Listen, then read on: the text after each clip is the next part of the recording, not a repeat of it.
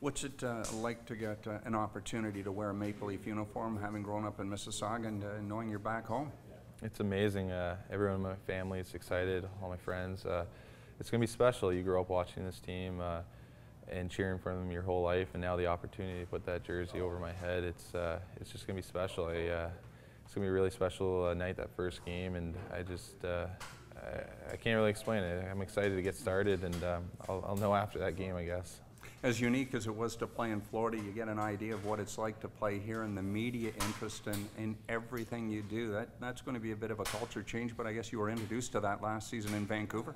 Yeah, Vancouver. It was it was definitely a lot more than uh, Florida was, but um, just doing my first scrum just a couple minutes ago, uh, it definitely uh, was a lot bigger than and longer than I'm used to. But it goes with the territory. I mean, the fans want to know what's going on with the team, and uh, everyone's so passionate about in this uh, this city. So I understand it. Uh, as a fan, I'd want to know everything going on too, right? So uh, it comes with territory.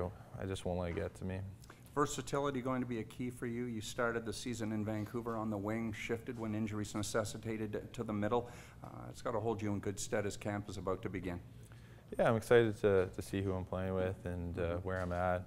Um, wherever I am, I'll buy into and uh, and give it my all. And I think it doesn't hurt to, to be able to play a few different positions. And last year I was playing center, wing, and even right wing at, at one point. So um, wherever I am, I'm excited to play, and uh, whoever I'm playing with, uh, I'll give them uh, everything I got every night uh, with wear that leaf on my jersey. I mean, how could you not, right?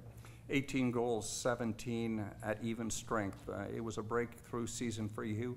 Something do you think you can build upon here in your first year in Toronto? I think I can do better. I think I can uh, definitely do better than that. I, I from day one, I want to hit 20, and I don't see why I can't hit 25. Uh, I mean, I, I didn't play a whole lot last year, and uh, to do 17 even strength goals, uh, I mean, I think I can build off that. I, I want to build off that. That's the motivation, and, and uh, I hope they're expecting that. On a final note, uh, what's it been like to work with Sport Chek here and get a chance to give back and uh, provide these kids with, with an idea of what it's like to be a pro?